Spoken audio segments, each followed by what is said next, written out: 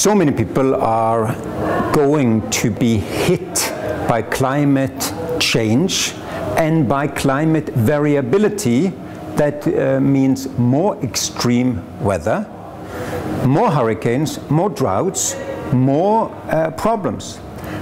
All of that is known by science. But what science knows is not explained to those who need to know.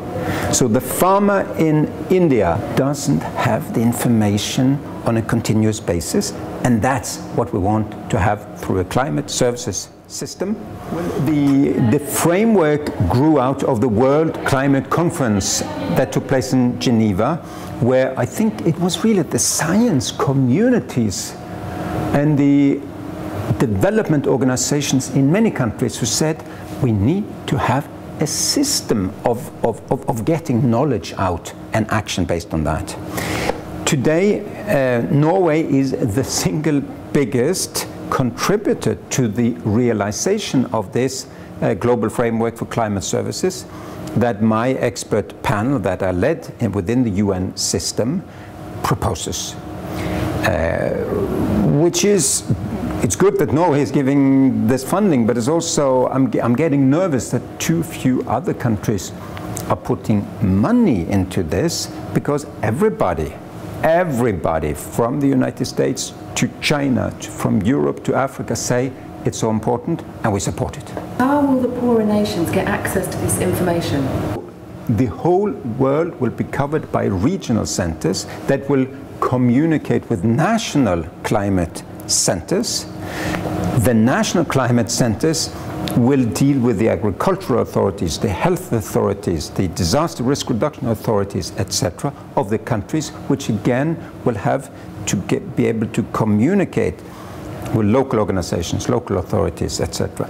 So indeed, the farmer in Kenya should receive information, perhaps on his as an SMS, or via the local uh, farmers association or the local ministry or the local uh, UN organization, whatever, on where to plant, how to plant, what to prepare prepare for. But of course, there also has to be some assistance there. We, we cannot just tell them something is going to hit them. We also have to help them in defending themselves. Okay, and finally, what are you hoping for Rio Plus 20? What's your dream? Well, my dream in Rio Plus 20 is number one, to get more attention to this fantastic opportunity for people to defend themselves, to become more robust, to avoid the devastating effects of climate variability and change, and take advantage of the opportunities of climate variability of change and therefore also have some money put into realization of the system because it's going too slow at the moment. We need to speed up the implementation of something that everybody seems to agree in, but few are really driving.